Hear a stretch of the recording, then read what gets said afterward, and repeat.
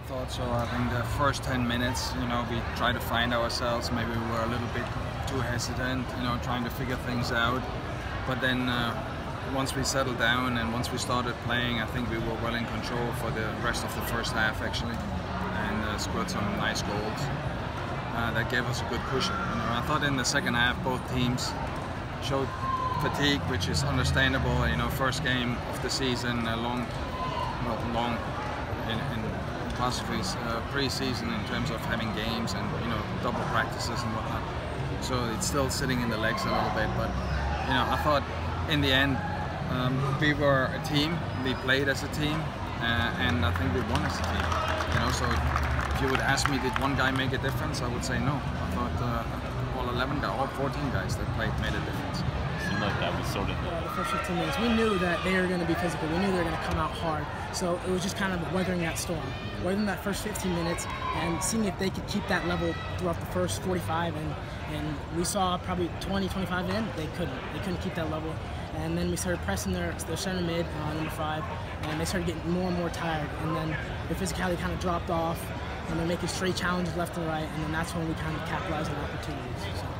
How do you assess those goals you guys got? They weren't necessarily yours to uh, Anthony was a clean one, but you know the first one, I guess you almost scored, it almost got the end line. They just got it off, and then more chaos got created. That kind of seemed like a goal that was created out of their fatigue. I think that was a lot of perseverance on our part because it's easy to to quit. Kind of, I think Z hit that off the post and it came out, and it's easy to put your head down and, and, and wait for the next play. But I think what we did well is we repressed right away and won that ball back. And then that ball from Eunice to backside me, I'm, I'm so thankful he saw that. And then I saw Z coming in, I laid it off, and thankfully Z put it away. So. Man, it was it was a crazy sequence. You know, Tor played me a great ball in. Should have finished the first one, but the guys worked hard to win it back. After that, you know, great cross in, cross back, and I had an easy tap in. It's all the guys' work. It wasn't me. I mean, it was just a five-yard yeah. tap, and I had to just put it in.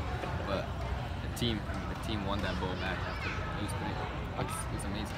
Hakeem mentioned that for, for a striker to put a ball like you did on the post, it's kind of deflating when you see it hit off the post and not go in. And, you know, they kick it off the end line and all of a sudden it's out again. Um, I guess how did you reset your mind so quickly uh, to get the second opportunity and make the most of it when you know the first one was so close? Well, honestly, the coaches work with us on that. You know, when you miss and you put your head down, it's just tough to get back in the game. You know, you just gotta keep your head up and wait for the next one. And to be honest with you, it happened so quick. I didn't even have time to put my head down. It was, it was really, it was, it was awesome. Man, that it almost snuck in too, yeah, didn't it? Yeah. I mean, like the first he got, he yeah, he got a hand on it, and, and, it just, yeah. Yeah, it's, uh, it's special. I mean, on my first game, it's special. Too, it's really special. This atmosphere is amazing. I've never played on a crowd as big as this. You know, it's great.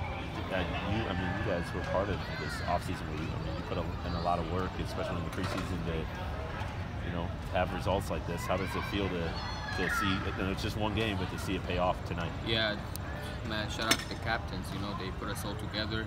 Beginning of the season, we all bonded really quick because of that. You know, we came in a week earlier, a couple weeks earlier, and it was awesome. I mean, they prepared us for this.